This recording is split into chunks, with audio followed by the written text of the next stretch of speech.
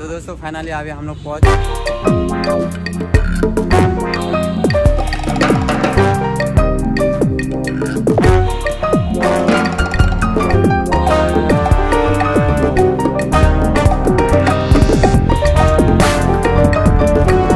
आ चुके हैं इस्लामपुर और आज देखने वाले हैं दुर्गा पूजा पंडाल इस्लामपुर का। क्योंकि एक बार आए थे तो कंप्लीट नहीं हुआ था और आज आए हैं देखने के लिए कि कंप्लीट हुआ है कि नहीं हुआ है।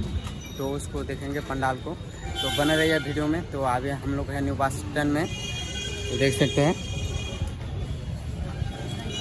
तो यहाँ से जाएँगे हम लोग दुर्गा पूजा पंडाल के पास और आप लोगों को दिखाएँगे। जो दुर्गा पूजा होने वाला है 9 अक्टूबर से स्टार्ट तो देख सकते हैं बैनर लगा दिया गया है दोनों साइड। तो बैनर देखने में बहुत अच्छा लगता है, देख सकते हैं। तो दोस्तों, अभी हम लोग पहुँच चुके हैं पंडाल के पास और देख सकते हैं। बना दिया गया है। अंदर से जाएँगे पहले। तो दोस्तों फाइनली अभी हम लोग पहुँच चुके हैं दुर्गा पूजा पंडाल के पास, जो कि स्टाइल बाज़ार के सामने ही ये पंडाल बनाया जाता है हर साल। और बहुत ही धूमधाम से यहाँ पर दुर्गा पूजा मनाया जाता है। और यहाँ पर बहुत ही मतलब यूनिक यूनिक थीम पे मतलब हर साल काम किया जाता है यहाँ पर। तो अभी हम लोग आ चुके हैं और दिखाएँगे आप लोगों को अंदर में जा कर के कितना मतलब काम कंप्लीट हुआ है और कैसे मतलब तैयार होता है पंडाल तो अभी आप लोगों को दिखाएँगे। देखिए दोस्तों, देख सकते हैं इधर काम चल रहा है। जो खम्बा होता है, उसका जो डिज़ाइन होता है, जो कटिंग वटिंग होता है, कैसे किया जाता है, देख सकते हैं। तो यहाँ पर तैयार होता है इधर, और इस साइड तैयार होता था। देख सकते हैं। और फाइनली पंडाल जो है, इस साइड है, देख सकते हैं। लगभग बन के कंप्लीट है। तो पंडाल देख सकते हैं आप लोग। क्योंकि बारिश के कारण काम रुका हुआ था शायद, और आज काम स्टार्ट हुआ है। और पंडाल का डिज़ाइन देख सकते हैं, यहाँ पर सीढ़ी है, और सीढ़ी से होकर के ऊपर की तरफ़ जाना होगा। तो आप लोगों को जा कर के दिखाएँगे। तो आप एक खम्बा का डिज़ाइन दिखा रहे हैं आप लोगों को। खम्बा का जो डिज़ाइन है, कैसा है तो आप लोगों को दिखाएँगे अभी। तो यहाँ पर देख सकते हैं, जो खम्बा होता है यहाँ पर। यहाँ पर मूर्ति लगा हुआ है। किसका मूर्ति? देख सकते हैं आप लोग। तो यहाँ पर। और बहुत ही खूबसूरत लग रहा है खम्बा का डिज़ाइन। तो इसमें थोड़ा कलर किया जाएगा, साफ़ किया जाएगा फिर ऐसा, इसके जैसा। तो देख सकते हैं अभी थर्माकोल का यहाँ पर डिज़ाइन जो किया जा रहा है, राम मंदिर का जैसा।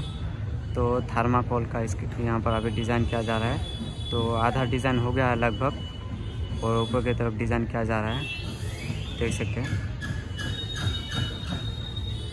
भैया सब डिज़ाइन कर रहा है और नीचे के तरफ़ भी डिज़ाइन चल रहा है अंदर।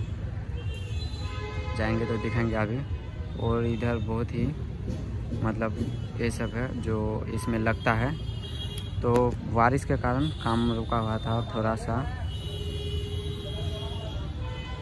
तो बहुत ही खूबसूरत होने वाला है इस बार का पंडाल। तो आप लोग इस बार इस्लामपुर के दुर्गा पूजा में ज़रूर आइएगा।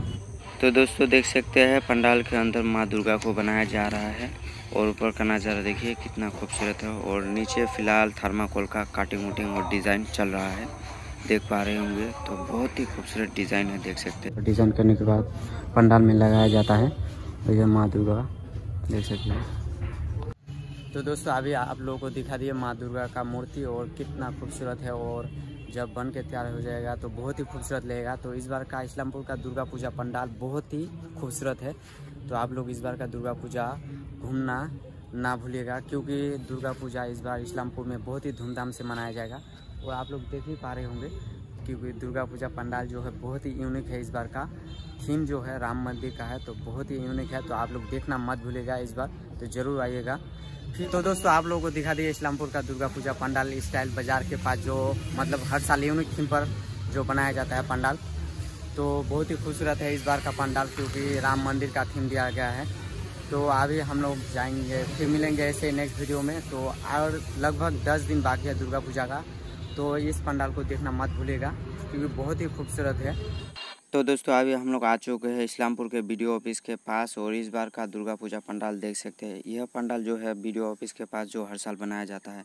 इस बार का पंडाल थोड़ा यूनिक है और जो कलर है, सोने कलर के जैसा देख सकते हैं आप लोग। और दोनों साइड बनाया गया है पंडाल, लेकिन थोड़ा अलग होने वाला है इस बार का पंडाल, लेकिन खूबसूरत है। क्योंकि बारिश होने के कारण यहाँ पर काम रुका हुआ है। तो बारिश हुआ था बहुत ज़ोर ज़ोर से तो देख सकते हैं दोनों साइड मतलब प्लास्टिक से। मतलब घेर दिया गया है क्योंकि ना भीगे, इसके कारण ख़राब हो जाएगा, नहीं तो देख सकते हो, पानी भी नीचे लग गया है गड्ढा में और इस बार का कलर बहुत